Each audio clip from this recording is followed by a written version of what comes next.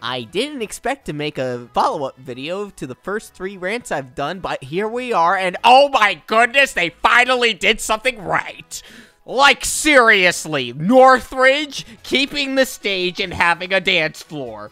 That's what we've been waiting for! Why weren't other regular customers complaining about the other locations? We would have saved so many stages if that's all it took. But I digress. I highly doubt this will apply to future locations, but it's hard to tell now.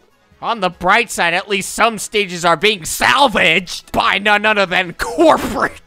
Also, can you give this friggin' Chucky eyebrows? He looks so ew. Also, I'd like to point out, I went to Pineville recently, and oh my god, just 10 minutes of Kidz Bop! I'm not even exaggerating. Ask someone who works at a Chuck E. Cheese, and they'll tell you. Their pizza's good, though. That's worth going for.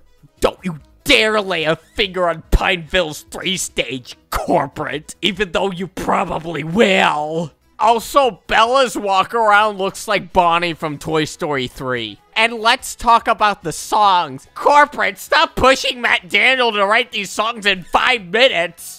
Give the man time. You're working him so hard. And don't you dare say anything bad about Wash the Bus. That song should be on Now That's What I Call Music 2023 give that song an Emmy and make a movie out of that. Oh, I just had chest pains because I'm so enthusiastic. Literally, I've ranted about everything basically. Why would people expect another one of these? Now, if you don't mind, me and the fruitcake dog would like to perform a little song.